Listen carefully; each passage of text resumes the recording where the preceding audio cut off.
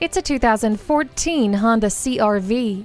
It has a bold look and a well thought out interior. It comes with a remote entry system, Bluetooth, and rear view camera. Plus, you'll enjoy all that cargo space with the rear seat folded down. Select the perfect temperature with the climate control. Say goodbye to the frost and never leave your car with the heated mirrors. Ward off the chills with the heated seats.